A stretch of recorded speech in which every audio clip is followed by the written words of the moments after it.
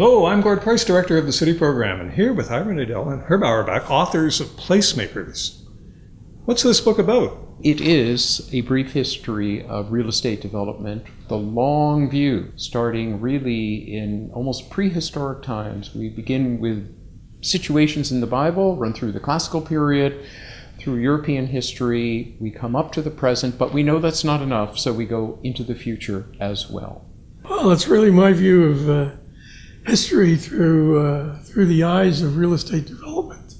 Uh, throughout history, there's been real estate development. Very few people know how some of the places that we see all the time ever got there. One of the unique features of the book is that every chapter begins with an autobiographical story by Herb about personal experiences, professional and personal, related to real estate development. You know what's remarkable, Ira, is that it has a real global perspective. I'll confess, I'm a North American centric kind of guy. My experience, my reading, is pretty much focused on, I guess, the home continent. I learned things I had never heard about before, and very helpfully had Google Maps along with me, so I Yeah. could go to these places and see some I'd never heard of before. Gordon, there must be thousands of stories that could be told about real estate uh, development throughout history, and I picked the ones that interested me, and I hope that they would interest the reader as well. But what do you conclude about the personality or the nature of a, of a quote developer? You say, in fact, uh, question whether there's a developer gene.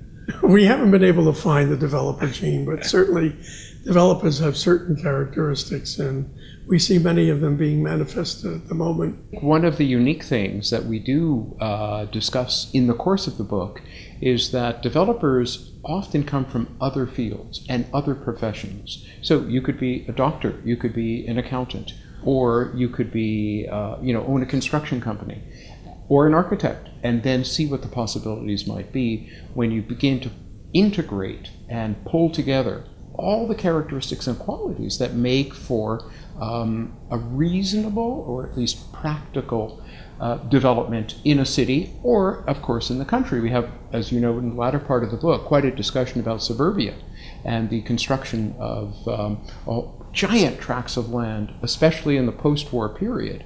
This is fascinating, I think. It was certainly fascinating to me to delve into this and to look at the combination of accident finance and purpose. Accident being that land was available, people wanted to sell it because they didn't know what to do with it.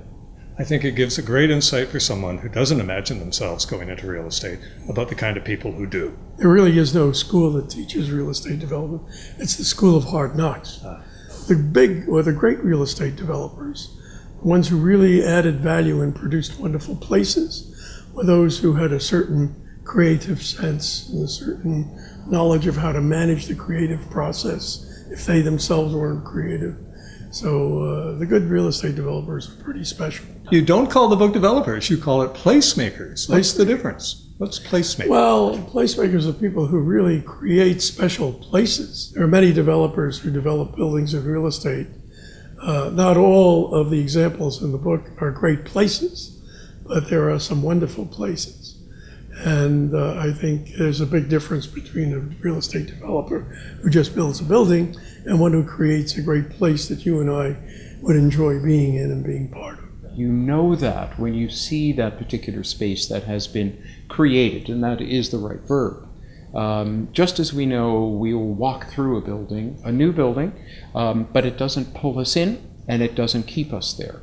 And I think this is part of what we are talking about in terms of this book and why we've chosen the examples that we've chosen, because we believe they are place making spaces.